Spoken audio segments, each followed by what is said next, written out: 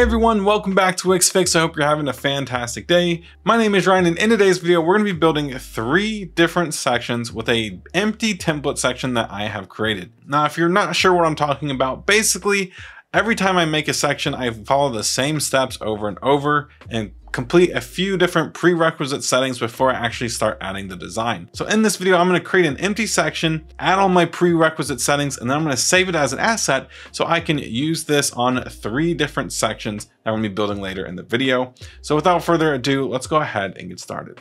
So here in the editor, I kind of wanted to explain a little bit better now I know I kind of already explained this in the intro, but I kind of want to explain it a little bit further here in the editor. But here we have a very empty section. And before I even start adding design elements, there's a lot of things that I do to these sections to kind of prepare them and make them responsive and stuff like that. And this is the same process that I do for almost every single section that I make inside of the editor. So it's just one of those things like, why not go ahead and create one section with all of these presets and then save it as one of my assets so I can just simply add it to my website, right? And all of the settings and stuff that I would normally apply to every new section is already here. So by default, these sections look identical because it's white and this one's white as well.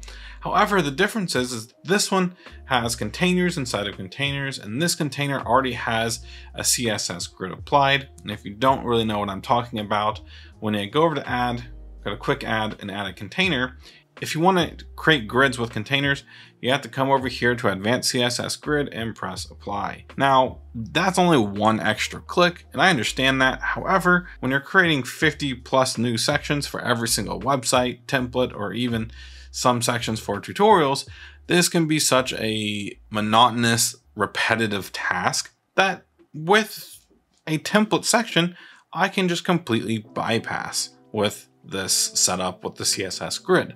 So with this internal container here, this is where I typically set up the structure of my section, or I can just go ahead and immediately start adding assets or content to this section.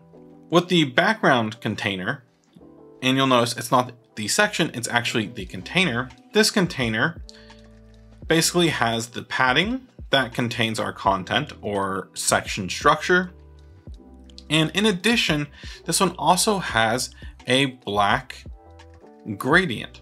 And some of you might be saying like, that's not too crazy. However, I like to use uh, the black gradient more than you think.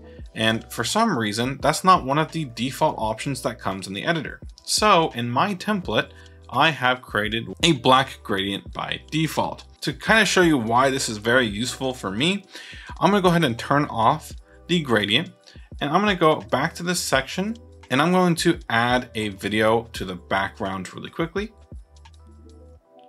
And I'm gonna go ahead and redesign this stack here to make it look a little bit nicer with, you know, white text, um, a button that looks a lot nicer and a lot smaller.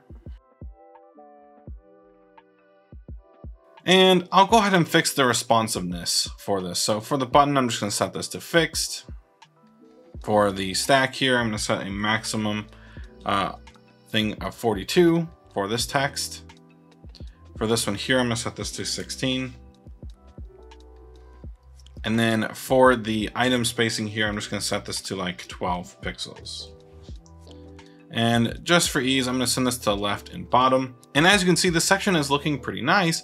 However, the text is a little hard to read, so I'll just simply add a little bit of the gradient. And if I click on the gradient, I can edit the end and starting locations very easily to customize it. And honestly, that looks really nice. Now, if you've been using the editor, you would sometimes realize that some sections, or most sections, have a max width on it. So if I go ahead and apply the max width to this section here, you can kind of see when I expand the width of this beyond the max width, you can kind of see where the gradient section kind of clips the design and it looks a little off. So I actually use a technique where I turn off the max width. However, I apply a max width to the content part portion right here. Now, as I expand the section here, you can see the gradient is stretching just like the background image. However, the content of the section is sticking to the same max width as the rest of our website and looks really nice. So that is kind of the point of this empty template section that I'm going to show you how to create in today's video. And then we're going to use that to create two additional sections. So let's go ahead and get started.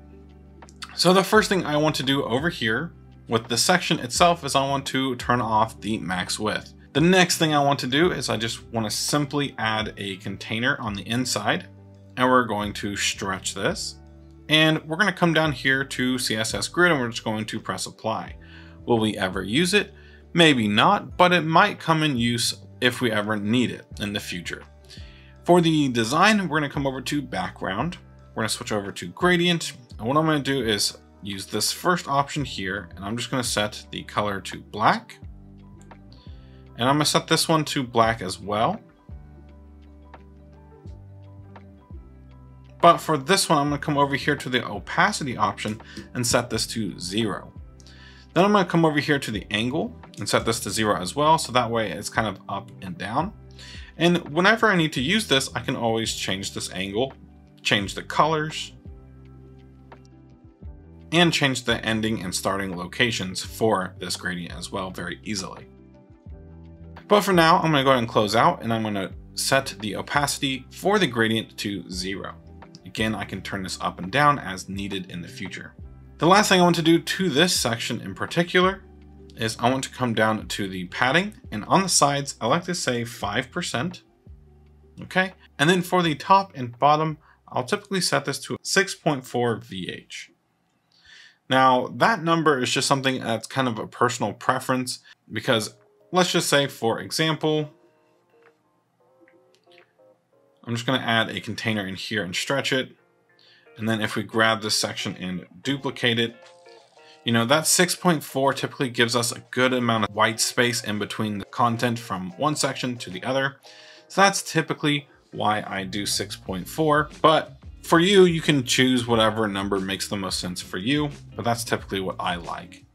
And as you can see, it's typically around 64 to 65 pixels on most screens.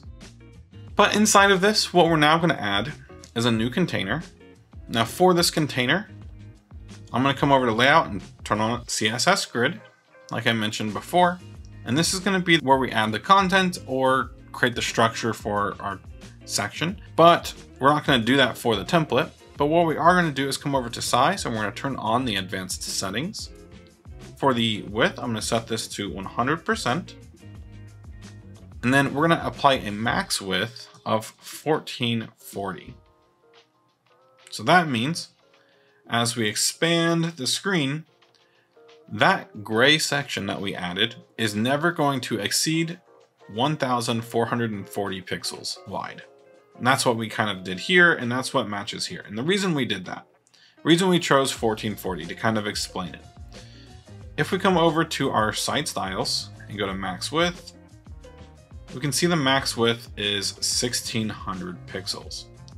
Now, when we are creating our sections, I like to choose 5% on the left and the right, as you can see here from the padding. Now, if you use different numbers for your padding, just keep this in mind and adjust accordingly. But I like to use 5. So, 5 for the left and 5 for the right is 10%. So basically what that means is this section takes up 100% of our section minus the 5% over here and the 5% over here. So basically the content takes up 90% of the screen. So to come up with this 1440 number, what I did was I came over here to our site styles, go to max width, we see it's 1600. So if I just do the quick math, 1600 times 90%, which is 90% of 1600, that is 1440. So that is why down here, you know, here's the, the section with max width and here's the one without it.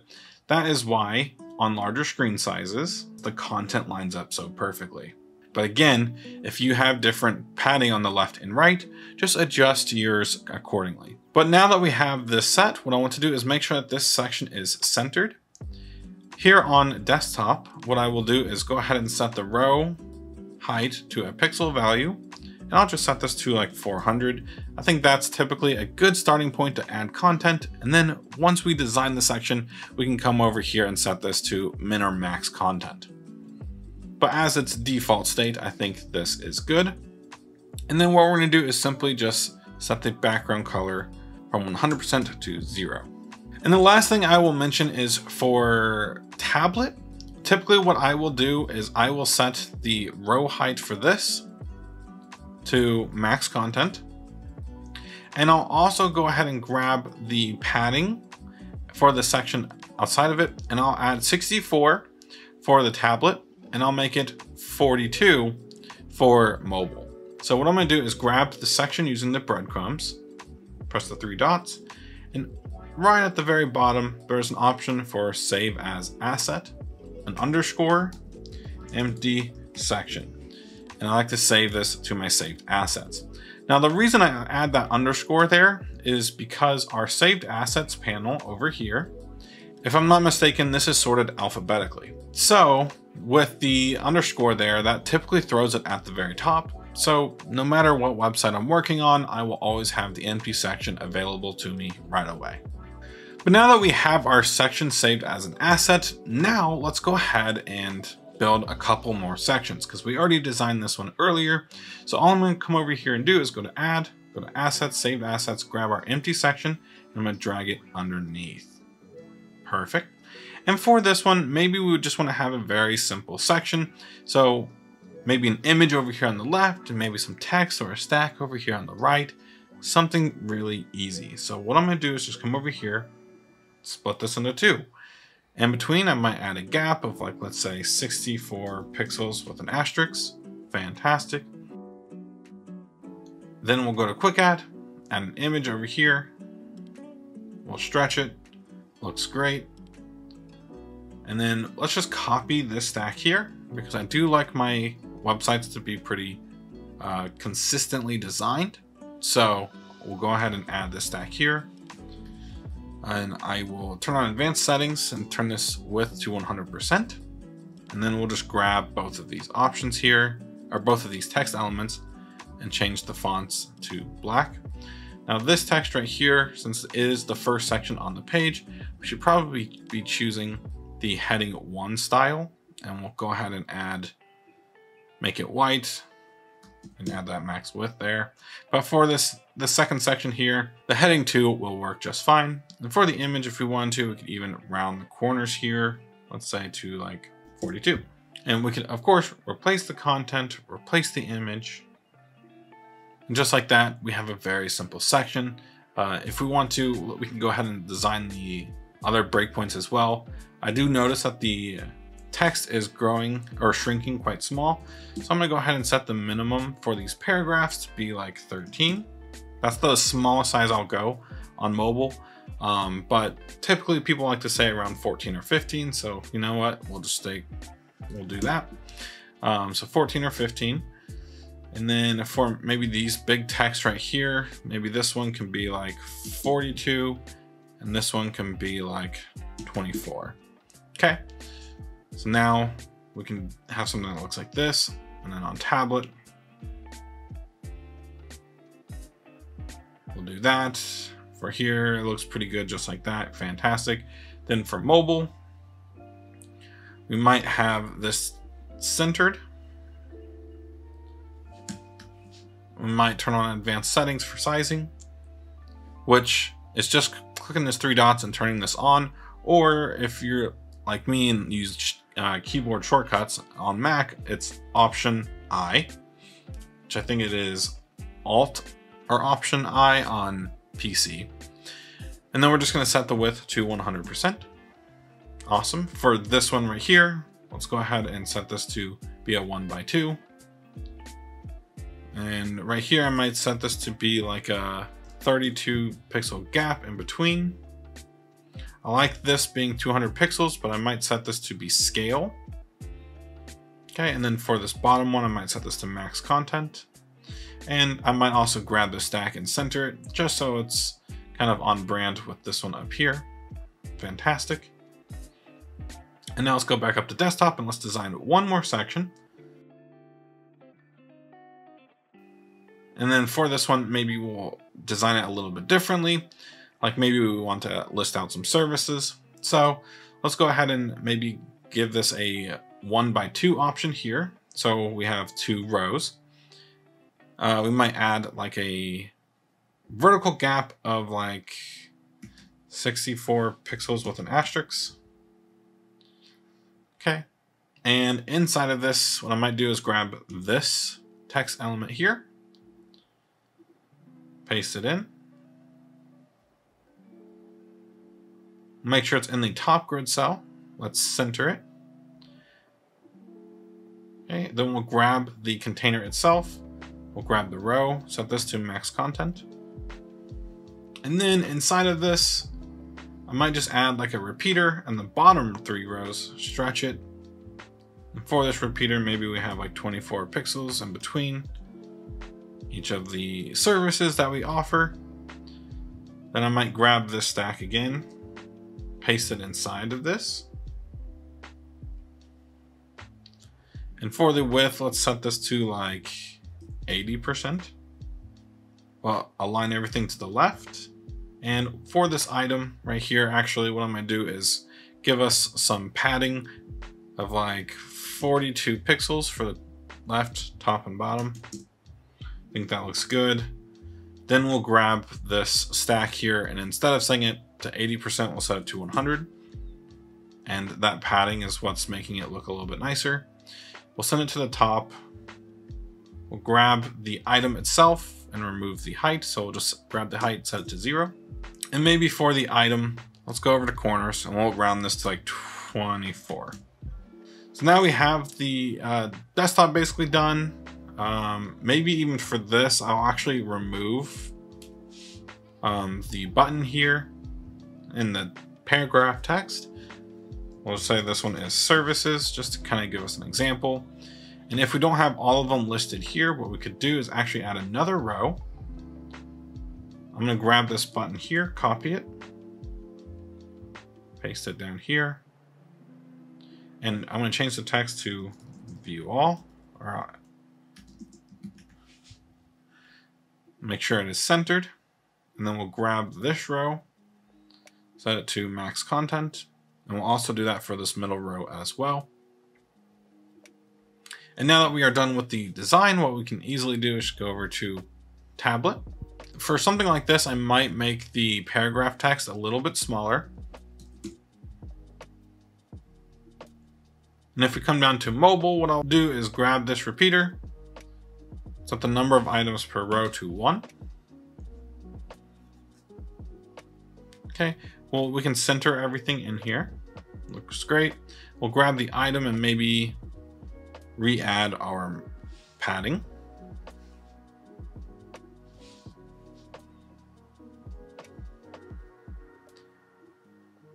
And maybe we'll also adjust the corners back to 24.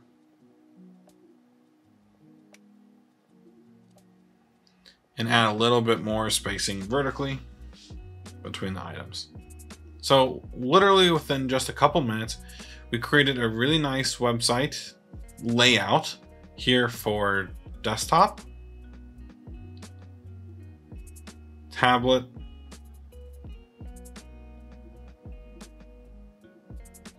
and mobile.